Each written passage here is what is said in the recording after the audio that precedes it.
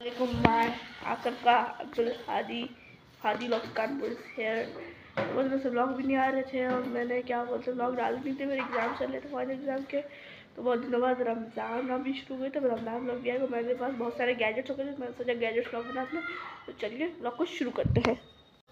तो आप देख सकते हैं, मेरा पहला गैजेट है बोल्ट के हेडफोन्स ये मेरी है हेडफोन्स इसमें मैंने कस्टमाइज़ कराया नरोटो और ये मेरी वॉचेस हैं।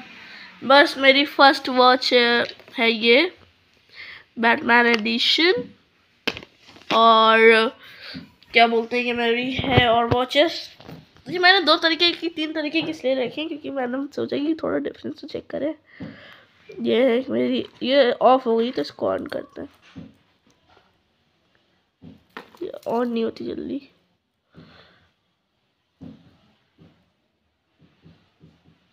बटन छोड़ दिया ऑन नहीं हो रही चार्जिंग में से छोड़ी, इसको हटाइए। ये है मेरी एक अल्ट्रा वॉच ये है मेरी रोलेक्स और इसका बॉक्स रखा है अलमारी में। और ये मेरे फ़ोन्स हैं। एक सैमसंग का है मेरे पास। एंड एक और ओप्पो का है।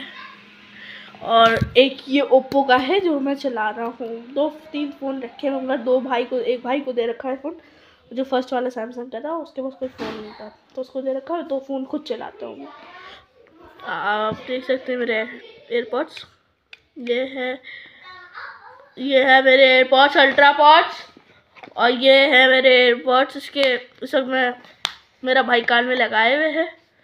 और ये है वही वॉच जो आप लोग को मैंने दिखाई। और मैं आप लोग को एक चीज़ दिखाऊँ, मेरे पास नेपाली पैसे भी हैं। आप देख सकते हैं। तो गाइज़ आज की वॉक ले इतना ही। मिलते हैं नेक्स्ट ब्लॉग में। थैंक्स फॉर वाचिंग बाय एक मिनट एक minute guys follow like subscribe and मैं व्लॉग सून इंशाल्लाह बाय बाय अल्लाह हाफिज़